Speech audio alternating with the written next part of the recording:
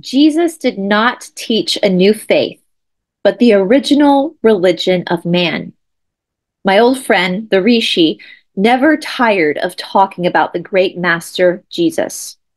One day he said to me, The Lord's Prayer, as the Christians call it, is the greatest masterpiece of phraseology and condensation ever written, for it embodies the whole of the ancient religion in a few short paragraphs. Take, for instance, the beginning Our Father, which art in heaven. In these six words, many points in the ancient religion are covered. It first tells us that we are His children, therefore, all mankind are brothers and sisters. Forgive us our trespasses as we forgive others that trespass against us. These simple words tell us our duty to one another and that we should love one another like brothers and sisters. Again, our Father tells us that we should approach Him as we would our earthly Father with love and confidence. Give us this day our daily bread is another wonderful sentence and far reaching. It tells us that we should avoid greed and the craving to amass wealth and depend on Him for our daily needs. He will care for us, thus leaving us free to amass spiritual wealth without anxiety about the material. You will notice, my son, our temple has no wealth, nor have those connected with it any wealth. We depend entirely on what the Heavenly Father sends us day by day through the people. Our faith in Him is implicit, so He never allows us to want. And he could go on through every sentence of the Lord's Prayer. And today, on our next installment, part two of the Lost Motherland of Mu, Hillis and I will be going through the symbols of Mu, the seven colonies of Mu, and the original religion of man. But before we get into the video, just a brief word from one of our sponsors. I am so fortunate to have such great sponsors on this channel. Our sponsors, as well as our patrons, are the people who keep the lights on here at Esoteric Atlanta so I can continue delivering videos to you multiple times a week. I am so lucky to be a part of Gnostic TV, to have ASEA as a sponsorship, and to now be sponsored by the incredible Spooky 2 company.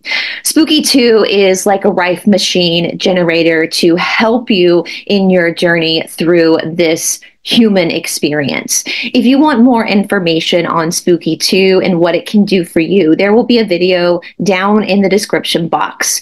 If you would like to purchase Spooky 2, there are a few different discount codes that you can do, all of which you can again find down in the description box below. For the 11 year anniversary of Spooky 2, for particular products that are listed for the anniversary sale, you can get 9% off of these said products by entering Happy Brice in checkout. For all additional products, the regular products, you can get 5% off by entering Brice Watson when you check out. Here is a little clip of what Spooky 2 can do for you. Hi, John, Echo, and the Spooky 2 team. This is Kanika here, and I'm here to share not just my and my partner's Spooky 2 journey. Spooky 2 has been superbly special for my partner and I. I'm actually sitting in the scalar field. Our personal experiences, my partner and I have uh, literally gone off all our, our vitamin and multivitamin multivitamin and mineral supplements. We hardly take them. We used to take them to support and supplement our well being but I've been using the daily wellness protocol and my hair has just exploded in its growth. The skin's gotten uh, beautiful. The DH experimental frequencies, I've been experimenting with a lot of them. We have such good strength in our body. We don't fall ill to an extent that my partner has hay fever. Peter, he has hay fever, but this time I've started using the immune super booster and oh my god it is magic. Uh, we recently this year purchased the remotes as well so we use our dna clipping and we put our clippings in it and uh, it's just been so beautiful and profound and i have always been so i pray daily i meditate daily and i've been sitting in the scalar field and meditating and praying and my psychic abilities, my connection to the divine, if I just want to put it in a net, nutshell, is just increasingly becoming so potent. I've been using the 12 strand DNA activation as well in the DH experimental frequencies just to see how it goes. And the, the effects are so magnificent in our, on our physical bodies and our like um, energetic field. I'm an energy healer I take clients through um, quantum healing sessions while sitting in the field so that they can also, I can be a clearer conduit and send these energies as well by pure quantum entanglement, right? And if people were to not believe this, all this physical proof shows what a gem of a product this is. I can't like recommend this more to anybody like so yes much love and gratitude. Thank you for listening and uh, i could share so much more but i'd like to wrap this up now. Thank you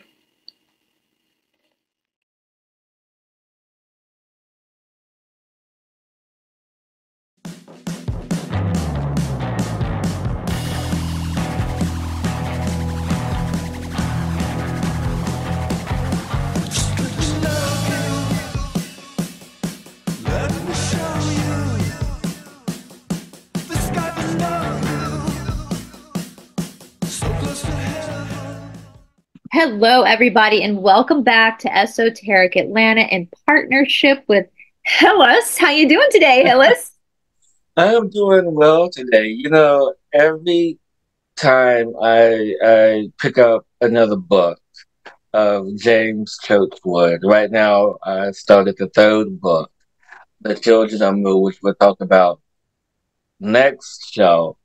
But there's always some something fascinating, something interesting. So yeah, it, it excites me to even talk about this. You know, how about you? How are you doing today? I'm good. It's been one hell of a Mercury retrograde, guys. So I I know where where uh, uh, Mercury is going to retrograde retrograde its own way out of here in like a week or two. So just hang tight, guys. But yes, you guys, I'm going to be placing our first our part one down in the description box below in case you missed part one. Today we're going to, which was the lost continent of Mu. Today we're going to be talking about the secret symbols of Mu, the colonies, the, you know, all that kind of stuff after we, we ended last week with the, with the catastrophe, right? The cataclysm that sunk the island of Mu in the Pacific Ocean. And for those, if you're just tuning in, um, just a bit, bit of a disclaimer. This Mu was a lost continent. We're all familiar with this idea of Atlantis or Lemuria. So, but not many people know about Mu. I didn't know about Mu until Hill Hillis brought to my attention. Again, you can watch the first episode from last last week where we talk about James Churchward's work um, into this this uh, uh, alternative history, if you will. And I just want to give a bit of a disclaimer from Hillis and myself. We spoke about this before we came on air.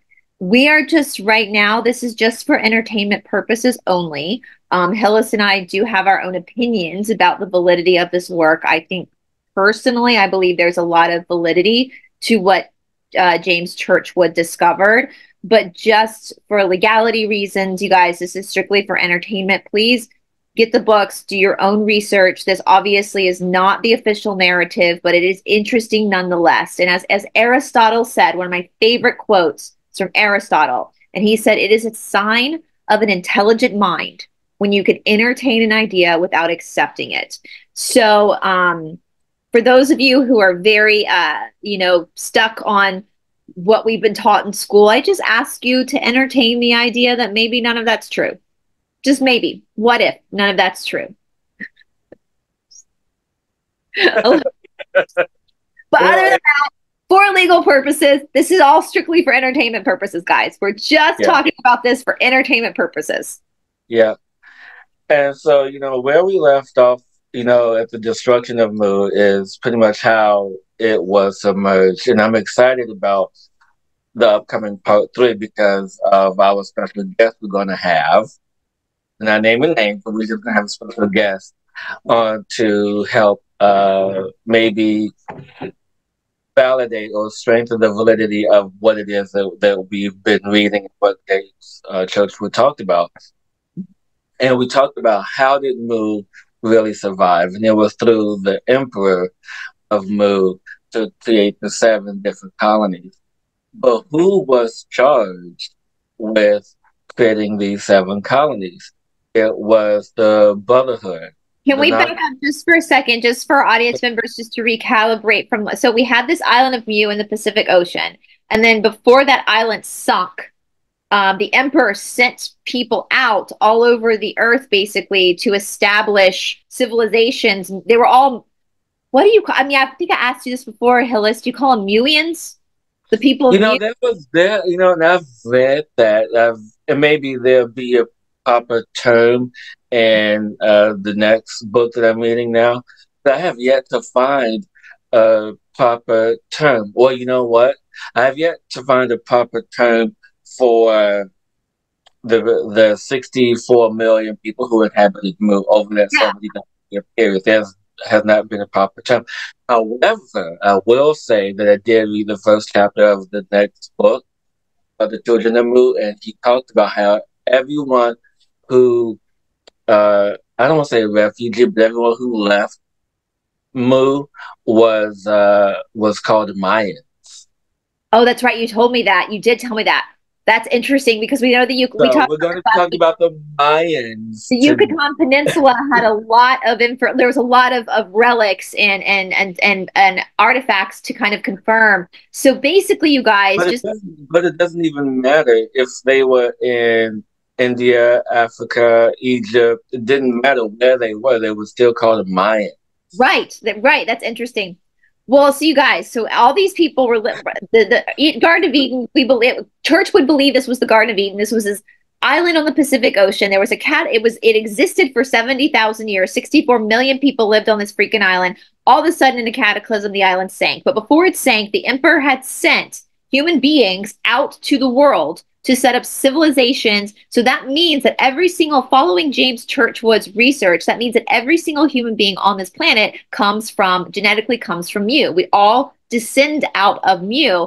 And we uh, even talked about at the end of the episode last week, Hillis, which I know this is going to ruffle some feathers because we've been programmed to believe a certain thing. So again, yeah. just entertain the idea we're all human beings, doesn't really matter. All the people of Mu were one specific race. And these were white people with brown hair, brown eyes, olive skin, so like Italian looking, right? And right. so we even talked about how if we look at survival of the fittest, like when the colony started to spread out, that's when different skin colors started to shift a little bit. Different eye colors came into play to adapt to when the poles shifted. Because with the cataclysm, guys, we spoke about the potential of the poles shifting, which created obviously, you know, we had different weather in different areas and that shifted and so it created a different survival tactic for the the Muians or the Mayans that had gone to like northern Europe and had to adapt to freezing cold or into Africa. You know, so, exactly. So the adaptations of the body.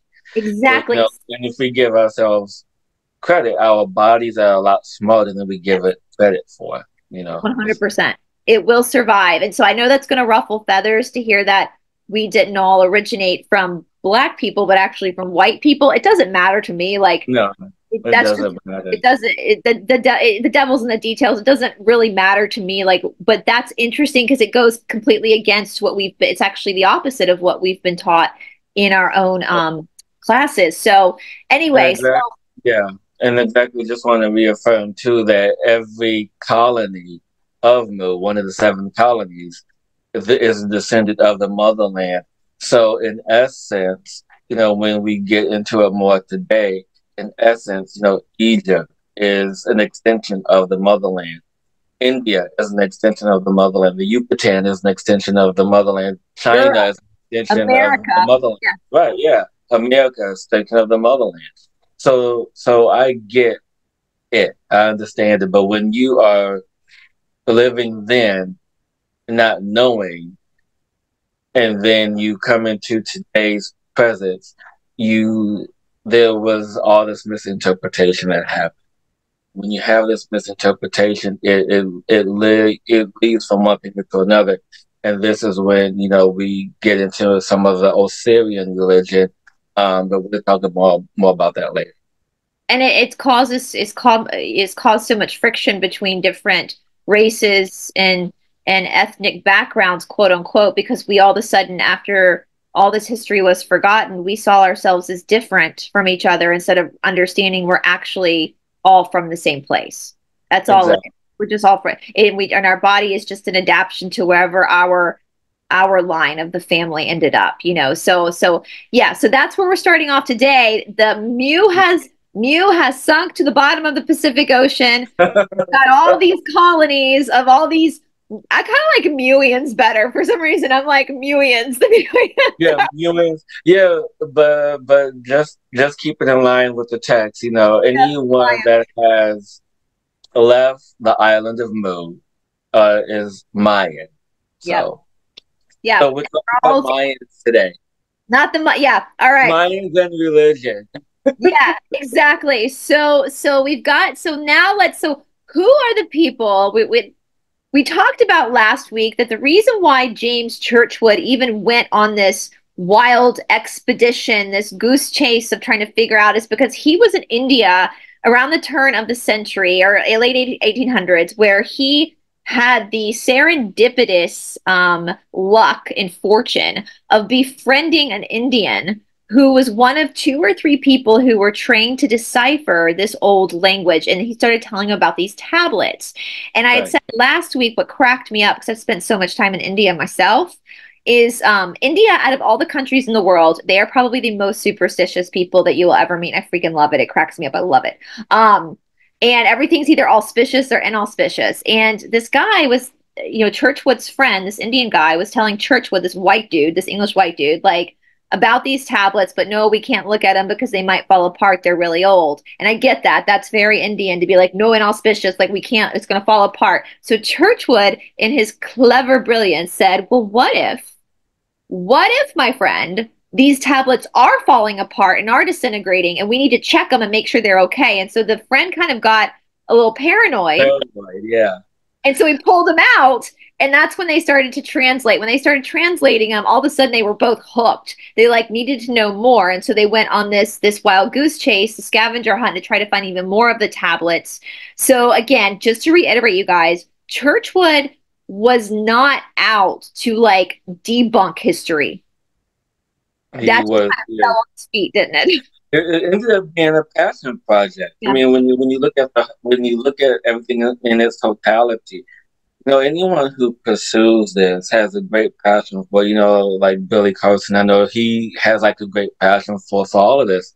And so I, I guess it kind of like just want to jump in because as we talked about, you know, last episode, we briefly talked about the Brotherhood of the Naacals, which is the religious set or part of Mu. The priesthood, the priesthood of the Mu. priesthood, if you will. That's what those tablets are called, the Naacal, the Naacal tablets. Um, exactly everything down. Yeah. And they're also known as the sacred writings or the sacred mysteries of Mu. This is what they're they've been changed throughout history, and this is why a lot of healers that I know today are creating mystery schools. You know that this is where the term birth from. But reading this, it gives the mystery school a whole other uh, meaning because as we move through this, you'll understand why and how everything was changed. And because it was changed, you know, everything from the the Mu from the original religion of Mu to the Osirian religion to the Israelites to the religion we have today, anything of great knowledge was held secret by the high priest or the emperors of that or of particular times. But in Mu, everyone was privy to this information. Everyone understood science and religion. They went hand in hand. There was no separation. And every time I say that, I always think of the term because I heard it growing up, especially if you're in high school. You you hear it in history class, you hear it in social studies, you hear it in in in very in in like classes, where you always hear church and state is always separated. And it brought to my it brings it to my awareness of, of the purpose of this separation and so that way this high level of information can be kept, uh, can be kept separate away from everyone else who may not have the wisdom or knowledge to grasp that. And even Moses, who was a master, was able to translate this information, but we'll get into Moses in a little bit. But what really set the foundation for the Brotherhood Binoculars of the religion is their seven commandments. And I want to read those. And as I read them uh, before and I read them again, that they were very profound and yet simple. This is what I like about their culture. The culture was very simplified. There was nothing that was overdone, over specified. It was let's keep it simple so everyone can understand, so everyone can follow. And you have to understand during this time, everyone was taught to worship the symbol and not worship the symbol in the terms that we understand worship today. It was for them to give them focus on the energy to embody that in which they've put their focus and vision on. So to understand the Gnostics, we have to understand the, the seven commandments. And the seven commandments go as such. This being the first. Man was taught there was a supreme being, infinite and all powerful, that there was a creator who created all things and above and below. That was man created by the Almighty, having been created by him, and was the son of that this Almighty was Heavenly Father. So we already established that the Creator, Heavenly Father, which is incited or recited in the Lord's Prayer that Jesus created. And we can all, we'll get into the Lord's Prayer later and how he took the teachings of Mu and simplified them in, into these prayers that he wrote. And then second commandment was when man was created, the creator placed within the body of man a spirit or soul which never died but continued through eternity. So we already know that we this is an empty vessel, that we embody this vessel for the sole purpose of evolution. So creator put the soul spirit in the body. And then in the third commandment was when man was created, it was ordained that his material body should return to the earth from which it was taken. When the material body died, it was released the soul, which went into the world and beyond, meaning that we move through this energy that we, once the body is returned to the earth, which is one of the primary forces, it can return and then the spirit will be free to do what it does naturally. You know, I will say though, Hillis, this is this seems like common sense for a lot of people who've spent their lives studying spirituality. But I will tell you, yeah. something that's been incredibly shocking to me is so many people do not understand that their body and their soul are two different things and that the soul right. body is just the temporary experience of the soul right. and so like in the bible where it talks about the resurrection of people being resurrected so mm. many people are so completely just don't understand that. They think it, the body is literally going to zombie itself out of the earth. They don't understand it's about the soul yeah. resurrecting. The body is just, and so, and, and I say this a lot in, in, in, um, you know, and the Yoga Sutras of Patanjali, which I was telling you, Hillis, I believe Patanjali was basically writing down everything that they're taught, you know, and he said, right. man suffers because man doesn't understand basically what the people of Mu knew that their soul was eternal, the body right. was not. Right, and exactly. Suffers because man thinks that his body is who he is, but his body is destined to die. Let's, you know, spoil alert. That's what happens to all of us. you know, if you didn't, sorry if I had to spoil that for you, but we all have the same, you know, Death Be Not Proud by John Donne, you know, we all have the same ending here. Um, right.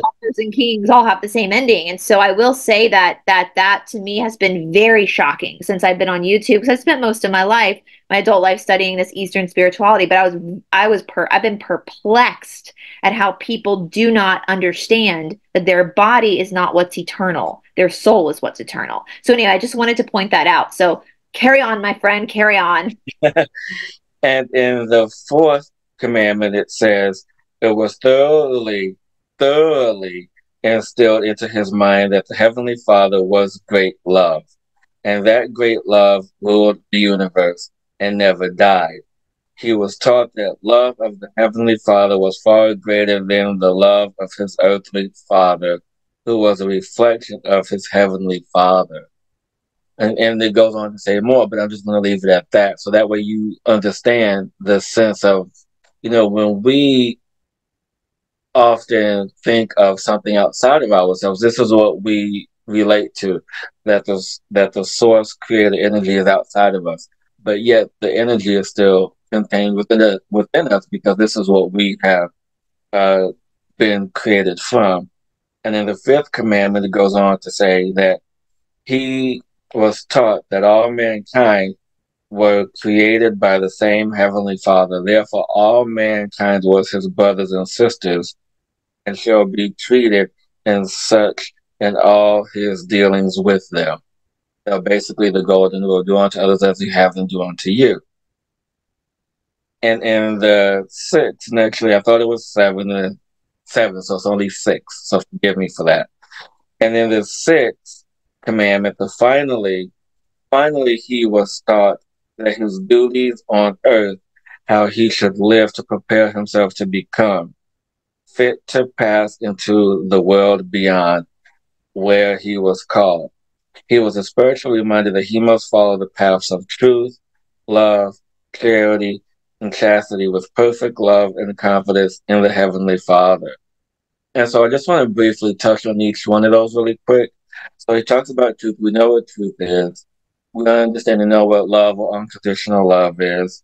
We understand what charity is, but this is where a lot of people get hung up with charity. Not only speaking of material charity, where we give up money, give up possessions, things like that, but in terms of charity, he's also talking about part of yourself, part of your soul, part of your time, part of your energy, part of yourself. That's what is referenced when speaking of charity in this aspect. And chastity is not, you know, in the terms of chastity in, in the terms that we know. Chastity is is in terms of discipline or in terms of reverence or in terms of of really understanding what it is you have to offer, really self empowerment and self discipline to allow for the energy of self to really flow and uptake and then uh, in that space of in, of being shared. You know, we have the same thing in uh, what's called brahmacharya in Sanskrit, and basically brahmacharya, basically tr- same thing tra- translates to chastity, but it doesn't actually mean that.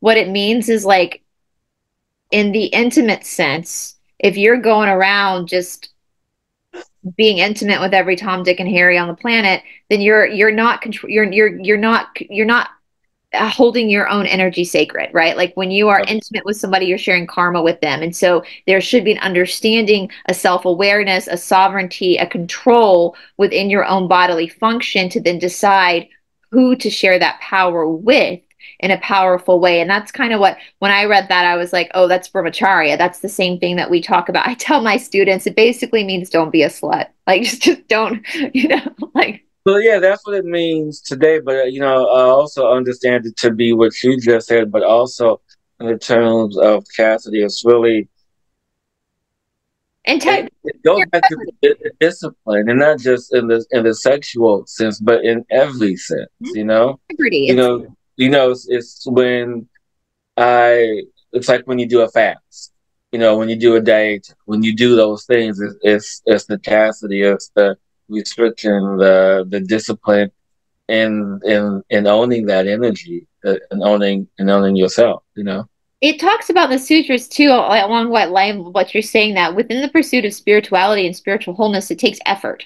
And like what you're saying, like like I you know, it takes that that for me, like my discipline, I get up at 3 30, 4 o'clock every morning for brahmacharya. It's not that I love doing that, but that's like the how I'm trained to then do my practice right. and have my meditation. And that is that takes effort. It takes that integrity to work on your discipline. And I think that, and I don't know, Hillis, I feel like today in modern spirituality, in the pop spirituality, the pop culture, people don't understand that. They think spirituality is just all light and love and doing what feels good and but they don't realize actually spirituality is putting a lot of effort and being yeah. you know and being okay with being uncomfortable and the discipline of it all. And so, yeah, okay, cool, awesome. Yeah. And so what I want to people to really understand that as we get into some of the symbology of Mu, which we're going to get into in just a moment, is that the symbols were designed for us to focus on what they represented in terms of embodying that energy inward. And if I focus on the circle, which is known for the deity of Ra, the sun god, or the universal God, Heavenly Father, that energy, it was taught that we focus on that energy and bring the energy inward and not idol worship in which we know of it today, which, you know, as we move through this, you understand that the extravagance and is is the piece that really corrupted the religion.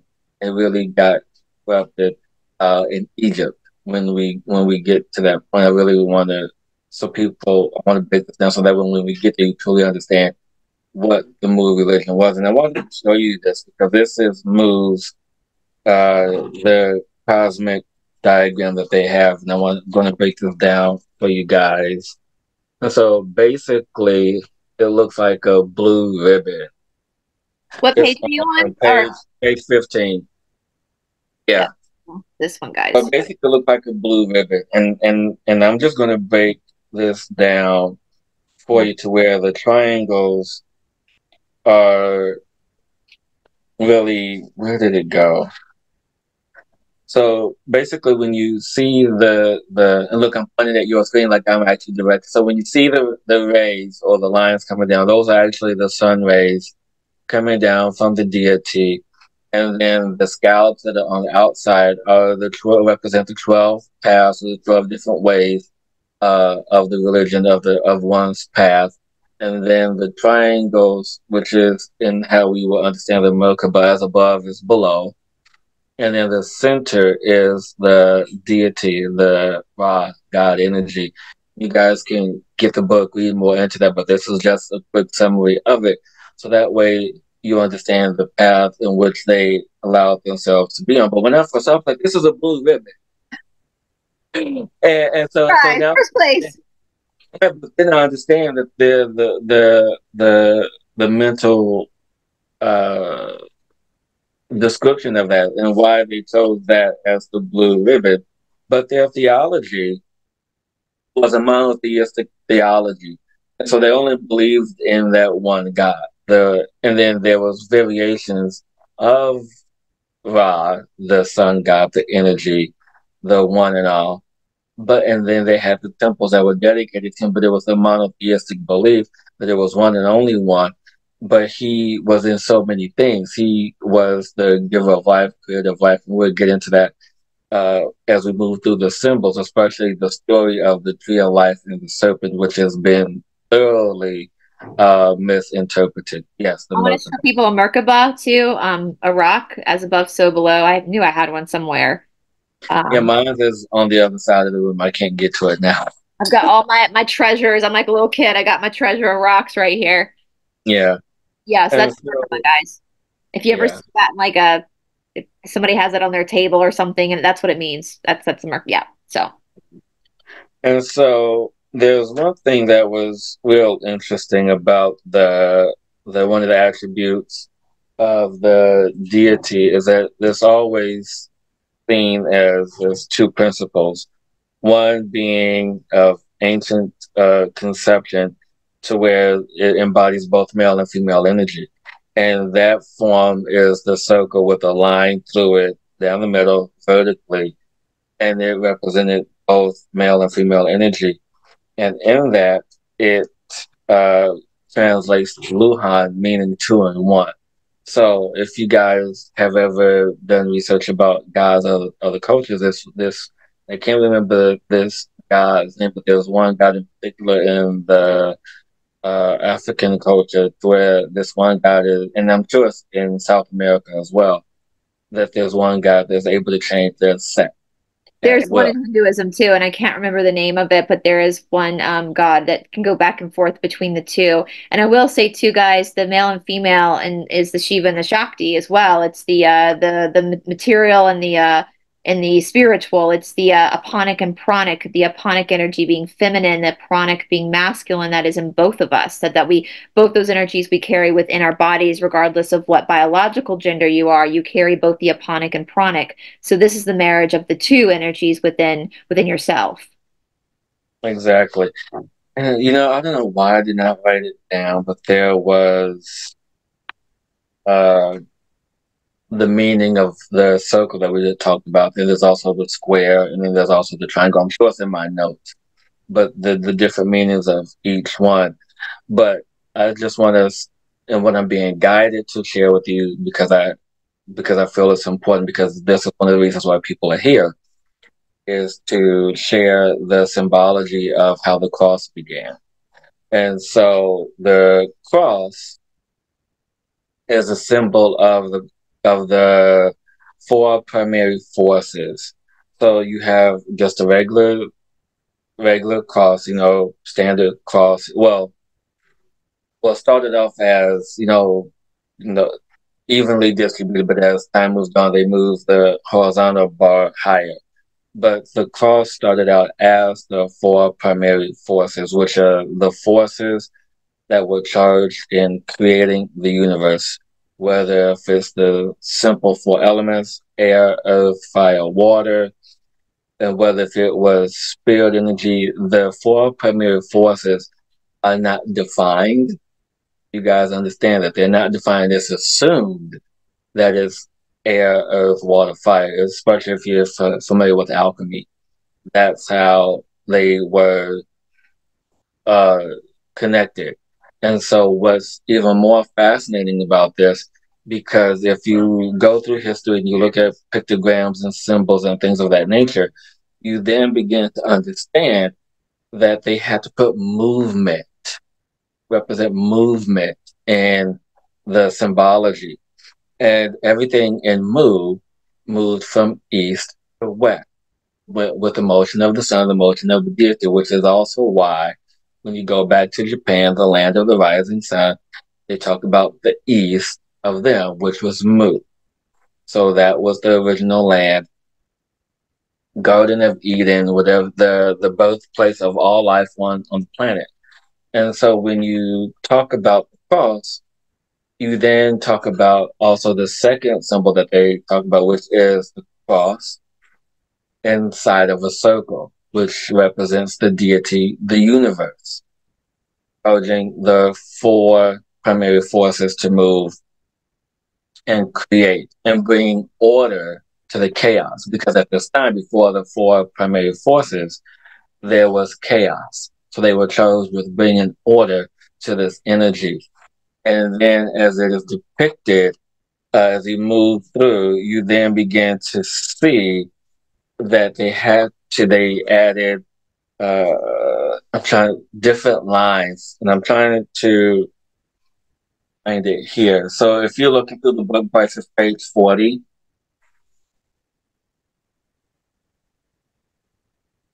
yeah. So then, yeah, thank you. So switch it up just a little bit. Yeah. So then that way, so now it brings me to the next point, which is now we talk about swastika and you see that symbol and it's and it's filled with so much hatred, so much hatred that we just fill it with that. But the original design of this was to create the feeling of movement of the four primary forces along with the deity. And so when you add those lines, those lines go from east to west, creating movement. It's like it's, and, it's like they're like the pinwheel, exactly. And they and so the four primary forces are also known as the four builders, and there's a couple other names that they are referred to. And when you have this energy, when you have this description, when you begin to know what it means, it, it really sets the tone for really understanding how things were created and how things were moved. And the four primary forces are depicted in numerous ways throughout the book. In the in uh, Mexico, in the Mexican tablets and Niven's tablets, you see them depicted in many ways, and each edition creates something new, something something different with that. And when you have these little nuances, it creates a whole new meaning. And what I want to show you, if I can find it, I don't know why I didn't mark it, is I want, oh, you know, I think I showed it to you guys last time about the, the symbol of the First Nation, but that's not important now. I, kind of want to stay on, on, on this topic. And so when you have this energy and then it evolves into what we know as seeing wings in different cultures. And then we get into how uh, uh, Quetzalcoatl was created, the seven headed serpent. And so the seven headed serpent was also known as creation, but he was also depicted with wings and feathers and that energy of seven. And so if you guys know, and I talked about it in previous episode where seven is the is the energy of change and transformation, and this is what Mu was known for was the sacred seven, and the in the sacred writings of, of Mu. so I'm just like taking over Brice. I'm oh, like, I love it. I love it because you you're the one that's really done a lot of of. Um, I'm just looking at Ganesh here, you know, and these symbols, and of course, um, my experience in India with my favorite, well, my one of my favorite deities is actually Hanuman. I talk about Hanuman a lot, um, and I know the Ramayana is is referencing Mu as well. So you know, a lot of these older religions. Um, and it's interesting because we think of Christianity as being a new religion, but actually, what he's saying in this book is Jesus or Yeshua was actually teaching an old religion. He was teaching a very old the original religion. Do what? He was teaching the original religion. Which is not what the church is teaching now at all. No, no. Not at all. And, and so, which kind of brings me to this next point and, and how Egypt and Mu are connected. And so, if anyone knows anything about Egypt, their uh, symbol was the beetle, the dung beetle. And the reason why they chose the dung beetle is because of how it can take a pile of mud and uh, roll it into a ball, and life, uh, uh, life comes from this ball of mud. However, the same thing is true for the story of the Garden of Eden, the story of Mu, the story of uh, the serpent and water, the cosmic story of the tree of life. And so I'm I'm going to do this best I can from memory without trying to get uh, from my notes. And this is one of the reasons why we knew that Mu was uh, that we knew that Mu was created in Egypt and Atlantis were colonies is because of this story. And in this story, you have uh, the water, which is represented by the serpent. And then you have the land, which is represented by the tree of life. Follow me as I as I tell this story. So this so when we hear the story of Adam and Adam and Eve in the garden, Eve is the representation of the water. Feminine. Feminine is, energy. Yeah. Exactly. Cosmic eggs, you know, energy. And so when you have the four primary forces or the deity in this sense, the sun energy heats up the air, moves through the air, kisses and touches the water. Mind you, at this time, there's nothing on the planet. There's no landmass, nothing on the planet except water. And so as the water heats up, gas is created, minerals are created, and solid mass begins to form over an extended period of time. And in this extended period of time, you have begun to create life. And but you have to nurture this life. So this is where the cosmic egg come in. So you have the sun kissing the water, creating the cosmic eggs, life. Then you know the Gnostics, the original students of Yahshua, had the cosmic egg everywhere. They understood this. Yeah. And, yeah. Yeah. And so so then you have the serpent, who I feel was misrepresented in the Bible. Me too. One hundred is the protector of the cosmic eggs, the life. And there's a picture of that with there's plenty of pictures in this book it's depicted the the serpent is wrapping around the eggs, keeping them safe and protected. And this is where, uh, in the Mayan belief, in the in the South American culture, you have Quetzalcoatl, the seven-headed serpent, also protecting the eggs, protecting life. So there's all this representation of this life being protected, of this serpent and the tree of life. It's not, you know, the Bible's interpretation of, you know, good versus evil.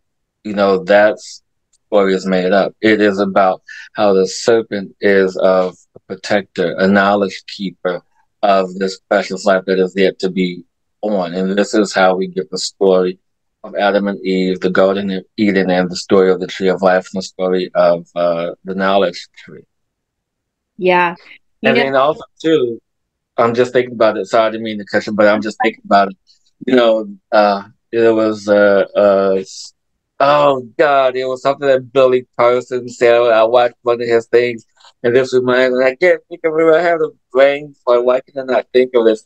But it, but it was in, in reference to how uh, the story of Adam and Eve and how the Anunnaki uh, did create it. So, oh, geez, I'm gonna have we're gonna have to send this to so remind us what this was. This whole Adam and Eve story. Well, I want to when, when we look at this this serpent too, you guys. I'm going to stand up for a second. When we look at it, and I talked about this with my friend with Cindy the other day. We're looking at that in interpersonal, the inner life. Um, can you still hear me if I stand up? Yeah. mm-hmm. At the base of your belly, the base of your pelvic floor, like where my hip bones are, right in here, you have the which is the the womb for a woman. But for all people, there's the Kundalini energy. This that's where the Kundalini energy basically is created. And as you start to strengthen your body and work, and you know, that's why spirituality and exercise go hand in hand. Exercise is the root word of exorcism. You get hot and sweaty, you get uncomfortable, you get the pelvic floor strong. That that serpent, Kundalini is represented by a serpent. It starts to wake up and move, and it starts to move up Sushumna, which is your spine up all the way to the top of the head. That's why Patanjali, the writer of the Yoga Sutras, even though he was a scientist, he's often depicted as having the sa- the snake's head coming up above his head because he's awoken that that understanding that knowledge that creation of what we call enlightenment or um, you know that prativa that flash of illumination which I think the illumination is also what most of the people in Mu were already illuminated. There were, were no secrets, there were no mysteries because they no, it was all shared. They knew you know, it. Shared, yeah. And and when we have, and I just want to add to that, when we talk about the uh, Quetzalcoatl, the seven-headed serpent, it also refers to the seven chakras, the mm-hmm. seven this, the seven that. So yep. the seven is very prominent in that space. And so it brings me to the next space because, you know, we had, we talked about, you know, the Nagos going to establish colonies and one of the main colonies was Egypt. And this is where the Osirian religion was born out of. And I just want to read this for you guys really quick. So Thoth founded the colony at the Nile Delta near the end of the, the mouth of that river and it was his father. So it was 6,000 years prior to that. So this is how Thoth began to come in, in into the bigger picture.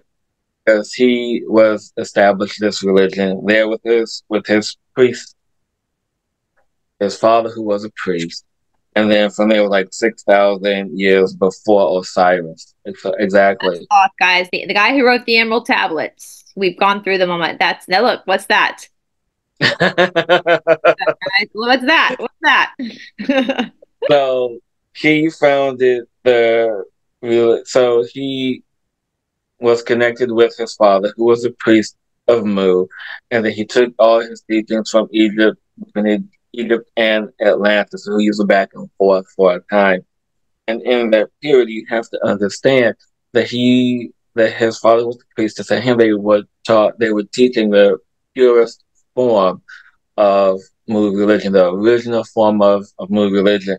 But it wasn't until the 11th through 18th dynasty where things began to be convoluted, where they began to uh, teach idolatry, where they, you know, beginning to worship false idols, animals, all these things, all the elements, everything that had not to do with the original deity, the the Ra. And so, if you go back through the book, you can also see Isis and how she was represented and how they talked about uh, the bird. Oh, geez, I can't think of the bird, but the her particular symbol, the bird that she was depicted with. Yeah. Even on the thrones, and this was when Osiris was still in charge. On his throne, if you look, there is a, a open square, a square within a square, and that represented the four buildings, the four primary forces. So this was throughout their kingdom. And if you look at next, we have one here but even if you look at some of the temples and some of the drawings, they talk about their pillars. And this is actually one of my necklaces. It says a Jedi, D J E D I, a Jedi necklace. You know, it's known with Egyptian energies. Yep. It stands for the pillar of power. Yep. But it also, in this case, it also represents the four primary forces.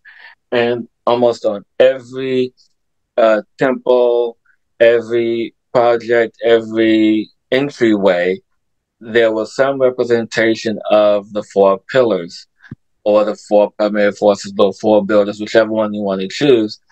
And it meant that this building was established by them and protected by them. So when you see that in in old uh, Egypt or in old writings, ancient writings, that's what that meant it was to be known that they were establishing that place and it was protected by the four primary forces. They go through that. That's also, guys. I will place the playlist, the Magdalene, um, my Magdalene playlist, but the Magdalene manuscript. They go through a lot because you know Magdalene and Yahshua themselves were not actually Jewish; they were Egyptian, which is another thing that the church changed. And they talk about all of that a lot, and people see these like obelisk and call the you know for me like that's the Sushumna that's what you know that's the same thing it's the Sushumna as they say in Sanskrit which is the power of energy. And so you know we see how even today people are still so conditioned even in the disclosure or truther community people are conditioned to protect the false teachings of the church and destroy the genuine teachings of the motherland and that's right. what really gets to me because like the, the the genuine teachings of mu and of yoga it's very a very peaceful it's very much like you respect each other we all come from the same source we're all brothers and sisters but yet this false teaching of the church is teaching people to go violent on the peaceful teachings and in order to protect the more um well we also have burma to thank for that. Do what? We have burma to thank for that. Burma for, yeah Burma, Burma gets the gets the blame. Yeah, no, there, there's a section in here that, that I will read where it talks about Burma because remember last time we talked about how cannibalism and savagery started in yeah. Burma because of the submergence of Mu, because of the condition of the planet at that time. It started there, and there's proof of that. There's evidence of that, but you know, no one talks about that. But moving forward, after uh, Osiris passed, his legacy was the Osirian religion. But then other priests began to take over, and as they took over, they introduced what they called extravagance. you know, the idolatry, the uh, the idol worship, the animal worship, all these other forms of worship. And it was Moses who was the son of uh, uh, Israelite and possibly the son of uh, Hephaestus. I'm sorry, Hesplet. Sorry. and who was an Egyptian princess. Yes, Egyptian. So, so, but yet, because of that, and there's no admission to his Egyptian half, that he was still an Israelite slave. Yeah, I'm not. I'm not a huge fan of Moses because of my my research into him. He, um, but, but this this is what is funny to me because there, he only mentions or talks about Moses a little bit here in this book. Talks about how Moses is a master and, and understanding the new language. He was a master warlock. That's what Mo- the word, the name Moses actually means, master warlock. Oh, see, I didn't know. That's what Moses means, master warlock. Yeah. And so as he as they make the Exodus, you know, because of Moses, and it was determined that Moses wrote part of the first book of the Bible. Mm-hmm. And I don't, I don't know how many people know that, how many people were aware that. I wasn't, but when I when I read about that, it but it made me sit up a little bit because of this individual who wrote this book, but yet he interpreted the sacred writings of Buddha perfectly because only masters can interpret this writing. But when, you know, thousands of years later, after he departed, you then have, you know, his, I don't want to say counterparts, but I guess that's a better, you know, like a better his counterparts or equals of today. Yeah. Interpret all the information and finish or rewrote the book. And this is how we got the Christianity of today because of what Moses wrote that was misinterpreted. But then, you know. I, in my study of the Old Testament and the missing book, and the, miss, the missing books of the Old Testament tell a fa- fabulous story, um, fabulous in, in the sense that it's it's juicy. The whole Old Testament is a grimoire, and so, and what does a grimoire mean? And we, I say this all the time. I know, I know it's a spell book. And so there's that's when because people are like, what do you mean by grimoire? I'm like, it's a spell book. It's all a spell book. Okay.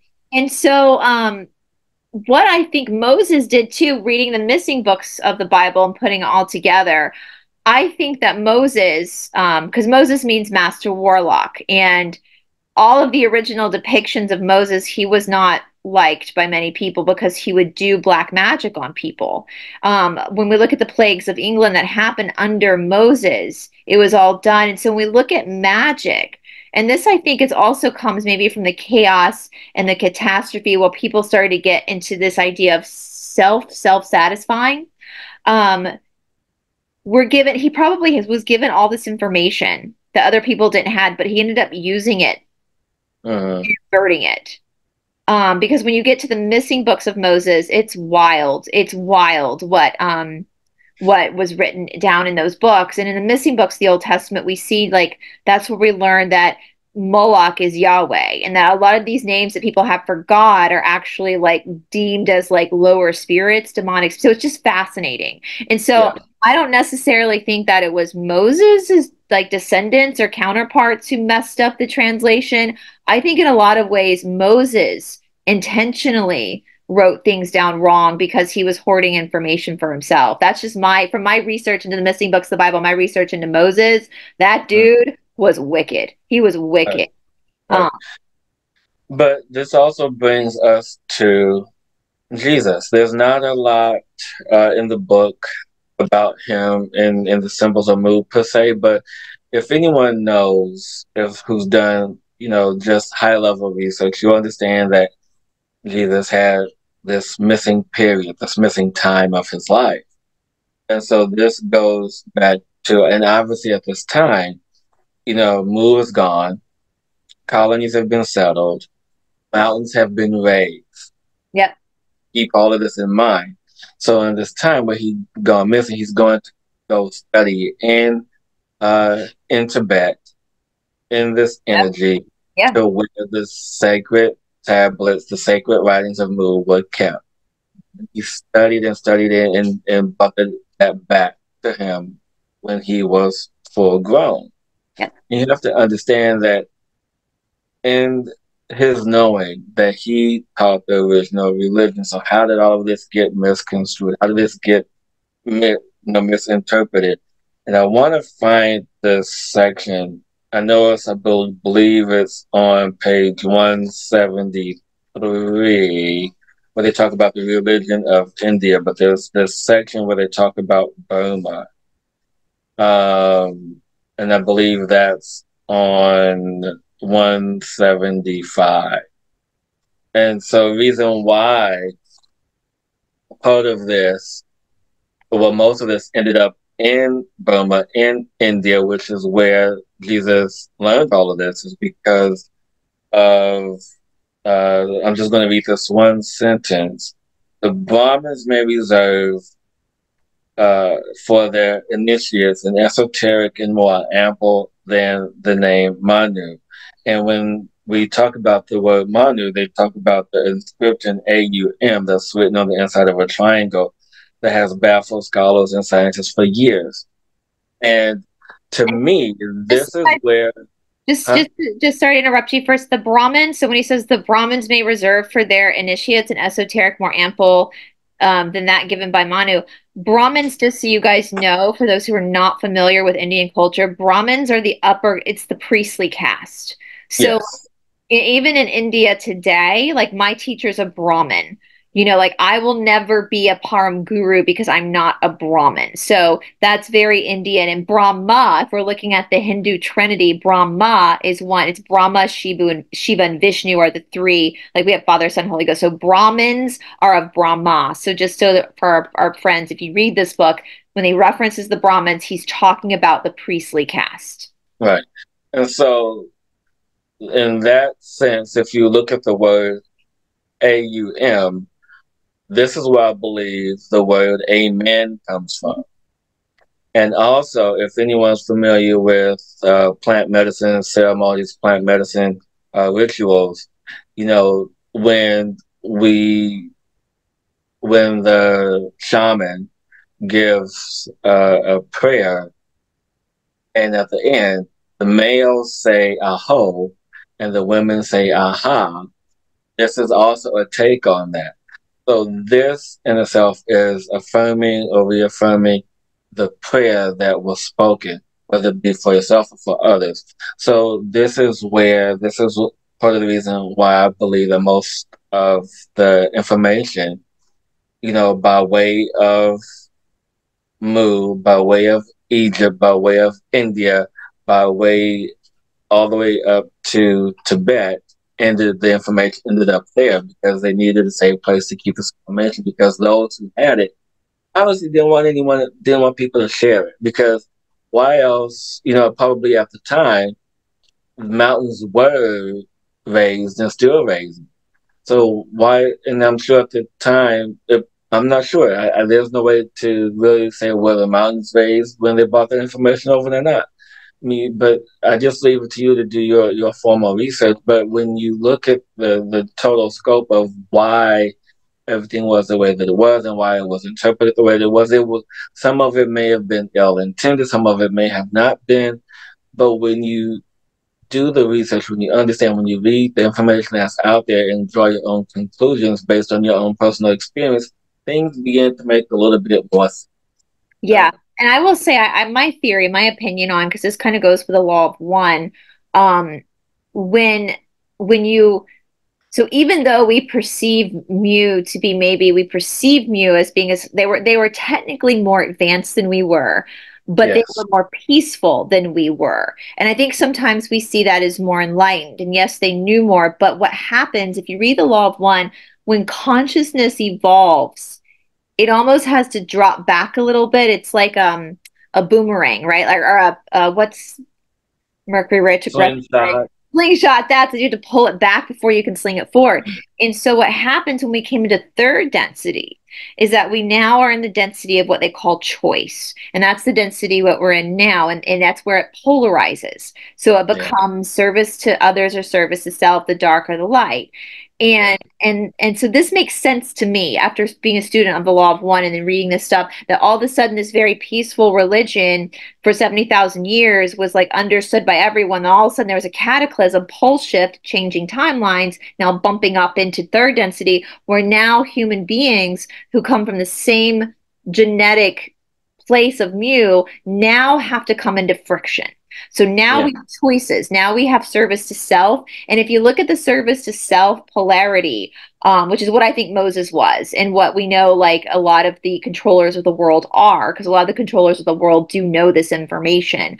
Um, they what they do in service to self, the dark side, is that they hoard information and they keep it a secret for themselves. They well, yeah, that's why we, you know, if you read part of the, I think it was don't I forgot what I read, but this is how you know secret societies were birthed and things like that. And because you know when I read about the Osirian religion, the you know how it was evolved, you know, to hoard information between the 11th and 18th dynasty at the pinnacle, that this information was only reserved for the emperors and the high priests, not regular priests. Uh-huh, yeah, yeah. Well, in the and, service to, to others, they share. I mean, look at us. You you found you. You called me. Were like, let's talk about this. Service to others of the light. We share everything. Right. Exactly. So, now, remember, guys, and this is one thing I want to, because everybody who knows about the controllers of the world and knows what they do, they want to like go vigilante and destroy. And it's like, no, no, no, no, no, no, no, no, no, no, no, no, no, no. The darkness cannot create anything. Only the light can create only the light can create. The sun came down to the water, right? Only the light can create. So our job, what, what the darkness does is they take this information and they invert it. They invert it for their own selfish uses. Our job of the light is to heal that and bring it back to its original template. I hope that makes sense. It does, and you know, and and I and I guess it's is perfect timing because I want to also bring up because I finally found it in my notes. I love I love a good Mercury retrograde, guys. I love a good Mercury retrograde. We're like, where is it? Where is the thing? uh, well, we talked about the basic shapes. So the circle, the square, and the triangle. I just want to read those to you really quick. So the circle in itself, what I talked about, is the is the deity. So this is on page seventy, where the circle is the picture of the sun, and what's a symbol and the and the symbol of the infinite one as it embraced all his attributes, the deity. And this being a monotheistic symbol, it was considered the most sacred of all of all symbols. And so this, you know, kind of speaks to me about why I love the circle so much. You know, in, in almost every logo that I've done for myself, you know, it's always some sort of circular uh, impression. That really, that's a that's a. Did yeah. you know when you designed that that that looks like the Mu no. Uh-uh. Like the four elements spinning, like. Not at all. Not at all. Not at all. Um, and so go on to what we talk about the equilateral triangle. Where are you, Mr. Triangle? There you are. The equilateral triangle has a dual significance, depending on where and how it is used. Its origin dates back to the primitive land a primitive man, the version of the three lands. So if you guys remember that in the last episode, I talked about how Mu was divided into three sections. Yeah. This is also a reference to the three sections of Mu and Mu and the 10 tribes of 64 million people living on this big, massive island. And so you have to understand that also the three lands in which it was formed, the Mu, was in the west. So, like I said, talking about Japan, it was to the east. So we have the land of the rising sun. The lands of the west were considered huge continental islands, uh, small ones separate from the big ones and narrow seas. And so even goes into where it talks about the Egyptian canal. So there's these different land masses that make up Mu. And then it goes into the other to the other uh, definitions of what the equilateral triangle mean. And then lastly, you know, is one of my favorites is the four-sided square, and not not the pyramid, but just the regular shape of the square. Whereas it's a four-sided square compiles of the trilogy of the first and the original sacred symbols.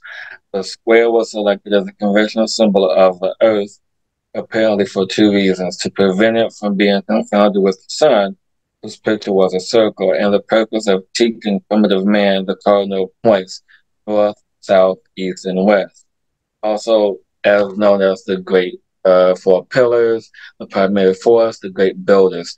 So it's in reference to that energy.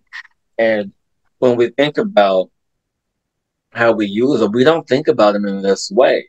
And so, you know, when we go back to the foundations, what everything means, this is it. This is the foundation of, of truth.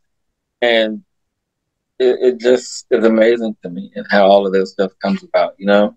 Yeah, 100%. You don't, you don't need, I mean, I've, I'm very anti-religion um, to me, the oh God isn't religion. Um, I, it's, you know your your spirituality. It's, it's all within you, and that's one of the most beautiful things about rediscovering this work. Is like, no, this is what our our collective ancestors knew. This, you you're it. You're the temple. You're the creation. You're it.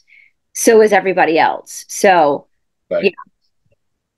And also, too, want to talk about just because people you know, always have this association with the lotus, and no one really knows what the lotus means. So according to Mu, yoga. yeah, yeah, if the lotus was the first flower to beautify the earth, the first flower, being the first flower in Mu, the land where first where man first appeared on earth, Mu and the lotus were naturally symbolic syn- uh, uh synonyms and a mark of love and mourning the Egyptians, and after the destruction of Mu. Never depicted the lotus ever opening a living flower, but always closed in death. Lotus is a prominent figure in the carvings and adornments of all ancient temples and except for Egypt. And so I just want you guys to understand that when Mu was thriving and alive, you always saw the lotus open in as many ways or any or any form thereafter. But when you saw it closed, that meant the the mu was closed, and it was closed definitely when you saw it in other uh, in other colonies. So when you saw when they talked about mu, this was one of the ways of closed lotus, and there was other symbols I'm not going to get into uh, right now that are in this book. You guys just have to get it. So that way, when you see symbology of today, you'll be able to understand how it was used and why it was used, especially, you know, resulting in the most controversial one, the swastika and the cross. Yeah. yeah. Know, and, the, uh, the, lotus flower, that's crazy. It was the first flower. You know, we always say the lotus flower represents yoga because it has to go through the mud and the muck in order to bloom. Yeah. Like, go through right. the shit in order to like actually find that that moment of, of peace so that's that's pretty powerful yeah it was the first flower and what it and going back to the cross we have the cross which represents the four primary forces but that wasn't the cross that was initiated so if you go back and if you that wasn't the uh, the cross that was originally depicted when Jesus was nailed to the cross. When Je- when Jesus was nailed to the cross, it was a T-shaped cross. Yeah, it was a, it, it was apparently they they uh, they executed on like call like it was a pole, right?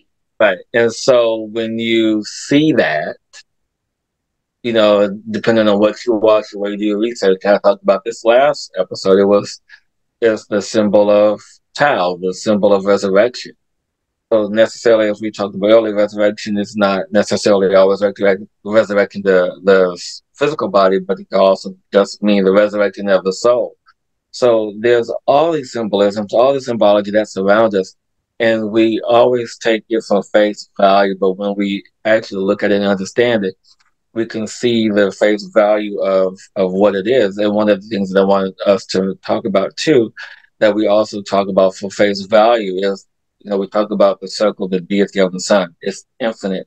But I wanted to also talk about the hieratic symbol in in the Mu language. And if you want to bring that up, that's on page 97. And the hieratic uh, letter N, it has two meaning It's one that's open and one that's closed. I'm just going to talk about the one that's closed because the one that's closed is the representation of what we know as the infinity symbol, the infinite symbol. The things never end, where things are always moving in motion. And so I just want to bring that to your attention that some of the symbols that we use and that are popular today have roots in the heritage language of Mu. And when we understand the origin of which things come, we can apply that energy and amplify it even more to our own personal and daily use. So yeah. Oh, that's what I wanted to talk about. That's what was important. That's why I. So on page ninety-five, uh, you also want to bring up another very common symbol, especially popular among the uh, African American culture, yeah, especially. You're not. I pulled it out when we first started. Yep, exactly. And so this symbol is a compromise of, of two symbols. It compromises the deity of Ra, and then it also symbolizes the four primary forces, the cross. And so when you have these symbols together, it represents the the continuation of life, the emergence of life. As as the energy moves through the mouth, it moves through the the four primary points, and it's in that energy of itself, and it represents the the body. I'm sorry, represents the spirit triumphing over the body. So yeah. when you have something, make sure that you you understand what it means and what it means for you.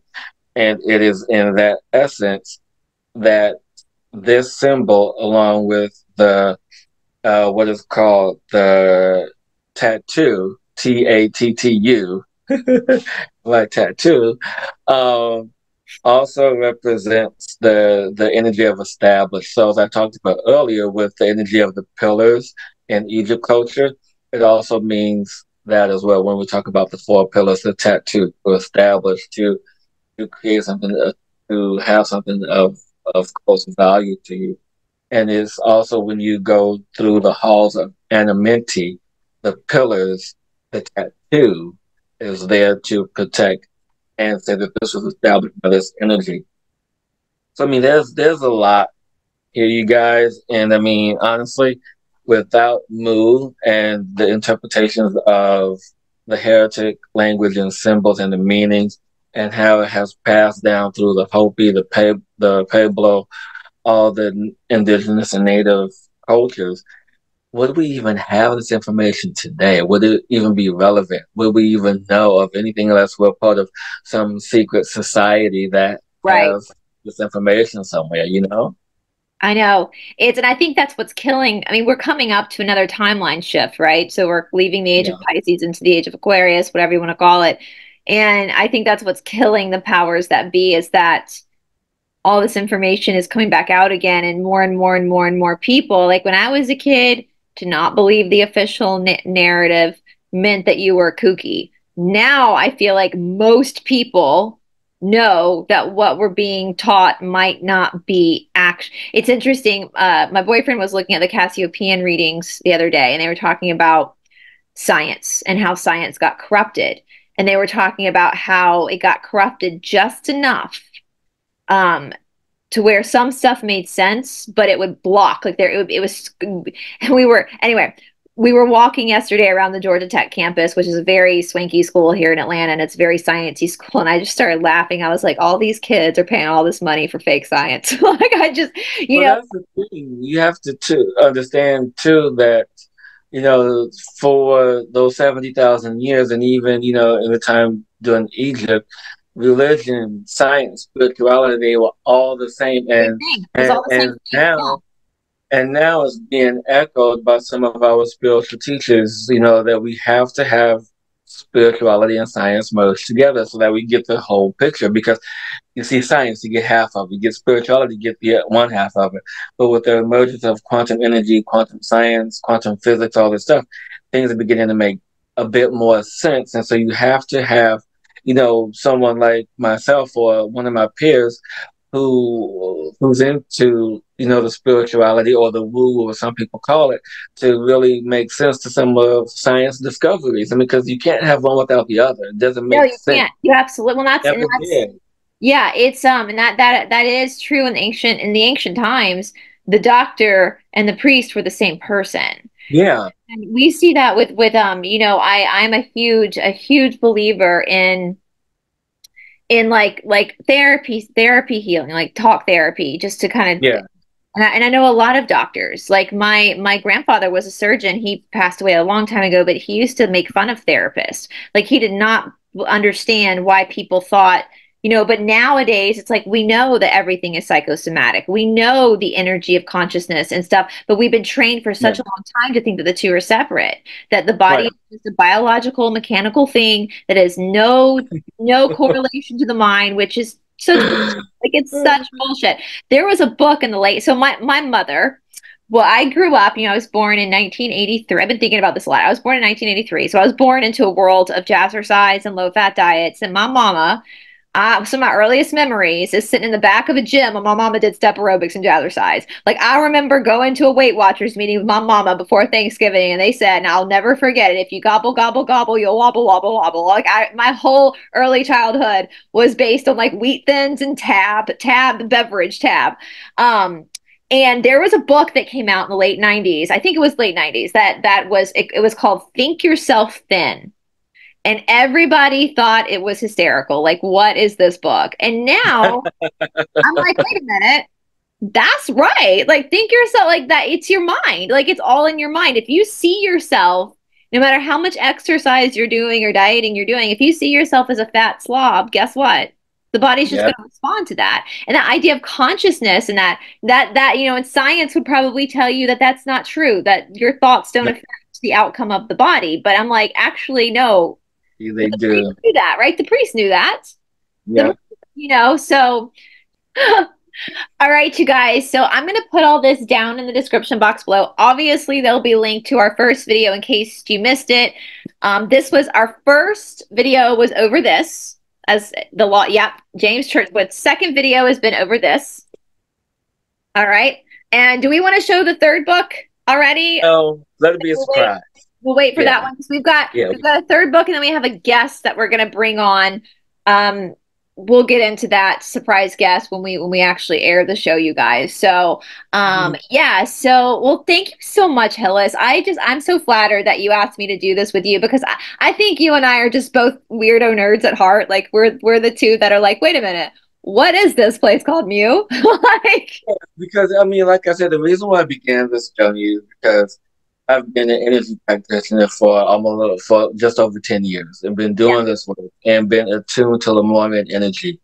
And people in, in my circle, my peers, they say, "Have you heard of Mu? Do you know what Mu is?" I'm like, "No, what is Mu?" And it's like, "Have you heard of Lemuria? Do you know what Lemuria is?" I'm like, "No, what's that?" And then uh, you know, I tell them what Lemuria is. They tell me what Mu is. We say, "Okay, well, it could be Atlantis." And so we just come up with these off the wall conclusions. And so now, you know, I feel it's time for me to really, really know what the truth of all of this is because we have all of this information. You know, whether we tap into it, for people who are psychic like myself, for people who do remote viewing, things like that, we can see things. Sometimes we just want validation, you know, like actual evidence. Because when I first started doing what I do, like when you start hearing voices in your head or spirit, you think you're going cuckoo, but you're not. And so it's, it's this learning curve and this adjustment period. But no, doesn't matter how long you've been doing this. Every psychic that I know, whether they've been doing this for five years, ten years, fifty years, however long, they still want their piece of validation. So this is kind of like a almost like a passion project for me, like James Churchward. This is, you know, I want the the evidence of what is this because I'm attuned to Lemurian energy by way of Sirius. I am, you know, connected to Lemuria. I've been told I was the emperor of Mu. So it's like, you know, I, I just want some validation, people. well, I, you know, for Hillis, like I think for a lot of people watching, you know, I, I did pretty well in school. I, you know, I I loved history and literature, and I think I love studying history and literature because I'm nosy. I'm a nosy bitch, and I love to hear what other people are going. I, literally I figured it out. This is why I love this is why I love history and literature. Just in my 40s, I figured it out. I'm just a nosy bitch. That's why I love it. Um, I'm a petty nosy bitch. Um, but um, you know, when when this whole when all this information started to come out rapidly, even though for me, I can remember, I know history like the back of my hand. I can tell you all about all the historical events, but even with like Tartaria information and the fact that our historical timeline might not be right, that feels the alternative timeline, even though I'm very well versed in the official narrative, the alternative timeline feels right. It feels yeah. right to me. It's not not the stuff that yeah. we did in school, you know. And I will say that in close to the end of the book, he does talk about Tartaria. He talks about it a little bit in the continent. yeah. yeah, just yeah. a little bit. So that's and what I like. That's about. a very you know, Tartaria is a very new concept for a lot of people. It's just recently come out on the grand whole of what Tartaria was.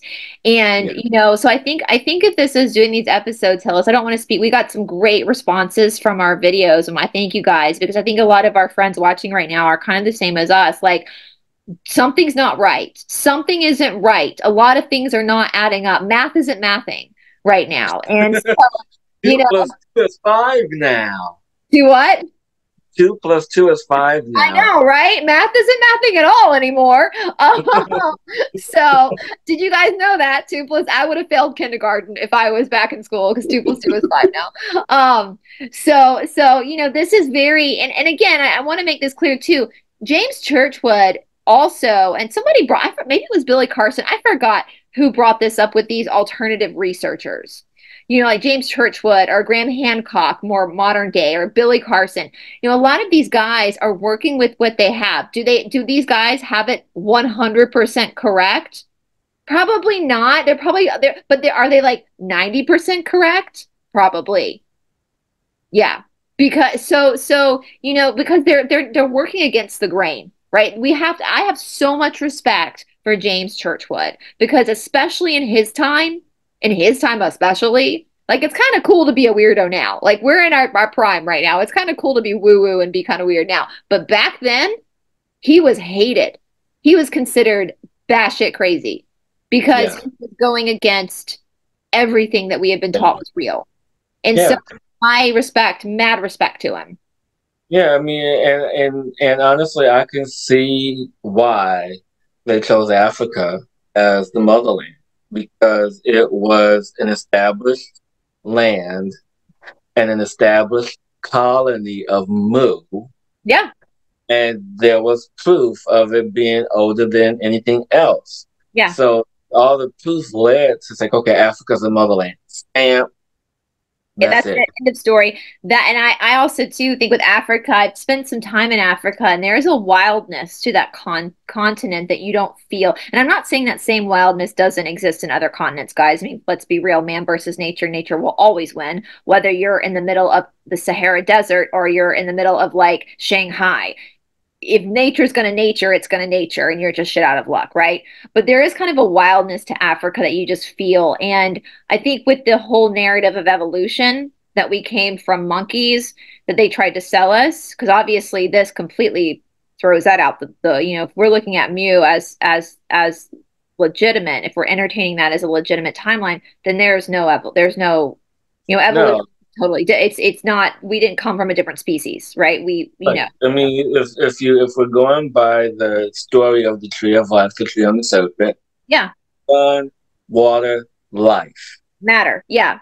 Yeah. And so and i've never i've always felt even you know even when i was a kid studying it and kind of was like well okay if that's what the scientists say i never kind of felt totally comfortable. Like that just never made sense. How can species? Yeah, I mean, it never made sense to me either that we evolved from monkeys. But like I said, if we, if we go back to the story of how Mu invented and the savagery, savagery and yep. and and cannibalism in Burma, of course, is going to de-evolve, you know, the body and the senses, and that's and this is why they found what they found in Europe versus what they could have found in North America at the same time, which they didn't want to study.